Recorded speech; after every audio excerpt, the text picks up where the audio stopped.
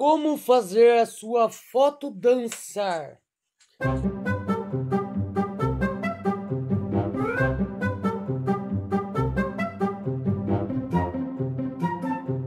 Hey Berenice, tudo crazy? Seja bem-vindo. Eu sou o Tio Piponé e você está no Tio Tutoriais. Hoje eu vou ensinar você a fazer a sua foto dançar.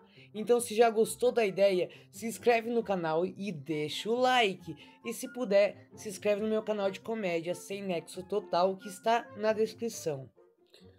O primeiro passo é você abrir o seu Google, é, pode ser o seu Google Chrome, pode ser o Mozilla ou qualquer navegador que você queira. Aí você vai no Google e digita Vigo, Vigo, Vigle, assim ó, V, V-I-G-G-L-E.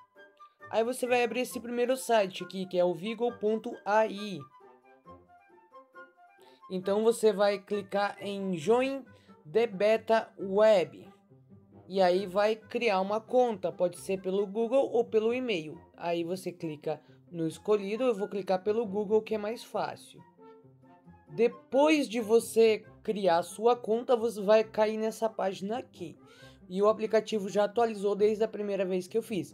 Aí tem alguns modelos aqui de dança, você pode clicar no modelo de dança e fazer pelo modelo de dança, ou você pode importar o seu próprio vídeo. Eu vou clicar aqui no mais e aqui eu vou remover esse um que já está aqui, que era do, do modelo, porque eu cliquei no modelo. Aí você clica em ADD vídeo aí vai aparecer na sua galeria aqui. Vai ter os vídeos recentes, todos os vídeos, né? ou você pode clicar em procurar. E em procurar vai cair lá no seu no seu celular. E aí você escolhe o vídeo. Eu vou pegar esse vídeo de eu dançando aqui. Na verdade, só estou fazendo uns movimentos aqui. E aí você vai clicar para adicionar sua foto. Upload. Eu vou pegar esta foto aqui.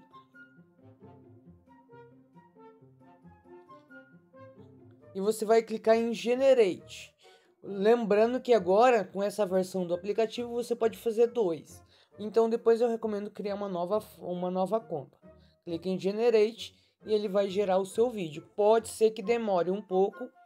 E aqui, depois de gerado, ele vai aparecer assim. O vídeo com o áudio certinho, dançando.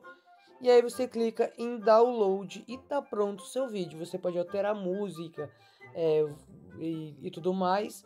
E se você quiser um vídeo mais completo, ensinando mais truques de edição e afins, deixe nos comentários. Gostou? Se inscreve no canal. Obrigado, até a próxima e tchau!